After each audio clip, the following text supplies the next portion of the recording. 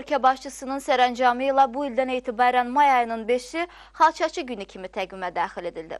Bugün həm də Azərbaycan xalçasının hüquqlarının bərpa edildiyi gündür. Əməkdaşımız Aytən Sakit qızı xalçaçılıq sənətini yaşadan və bugün peşə bayramını qeyd edən Lənkəran sakini Tərifə Məmmədovanın qonağı olub. Ətraflı növbəti reportajda.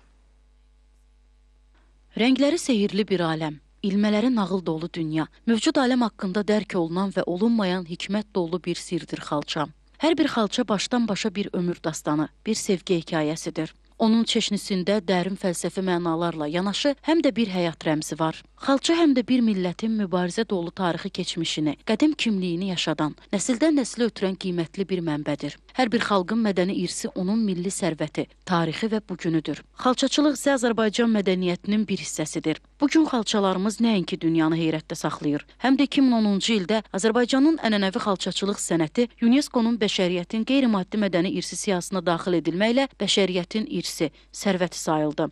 Xalçaçılıq sənətini yaşadaraq gələcək nəsillərə ötürən sənətkarlardan biri də Lənkəranda yaşayır. 63 yaşlı Tərifə Məmmədova 45 ildir ki, xalçaçılıqla məşğul olur. Elə xalçalar var ki, onları təsəvvür eləyəndə ki, bu sürət, bu süjet necə alınıb, ona heyrətlənirdim və ona onda mənə qarşı həvəs yaranırdı. Təəccüb edirdim ki, bu sənət, bu, bu naxış necə alınıb.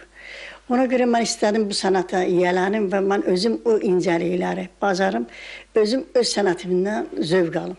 Tərifə Məmmədova xalçaçılıq sənətinin incəliklərini əvvəllər Lənkəran şəhər peşə liseyində, hazırda isə Osman Mirzəyev adına qarışıq tipli uşaq evində yaşayan şagirdlərini öyrədir. O burada şagirdləri ilə birlikdə çalışmaqdan xüsusi zövq alır. Qərara gəldim ki, burada daha çox lazım olaram. Uşaqların buradan gedəndən sonra əllərində sənətləri olsun, faydalı işlə məşğul olsunlar.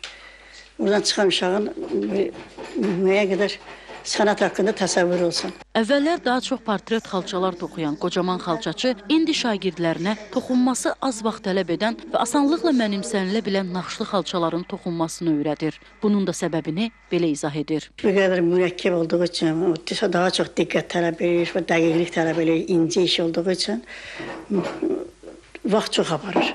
Həm də ona xüsusi e, saflar lazımdır. Safların bir-birinə uyğunluğu, normaları, normativə uyğun olmalıdır. Nömrələri bir-birinə uyğun olmalıdır. Qeyd edək ki, Tərifə Məmmədovanın yaradıcılığı dövründə ən uzun müddətə başa gələn xalça 2 ilə toxunub. Sənətinə gözünün nurunu verən qəhrəmanımızın indi bir arzusu var. Toxuduğu xalçalarından ibarət sərginin təşkil olunması. Arzun Çin, peşə bayramın isə mübarək olsun Tərifə xanım. Aytən Sakit qızı Farid Əliyev, Lənkəran.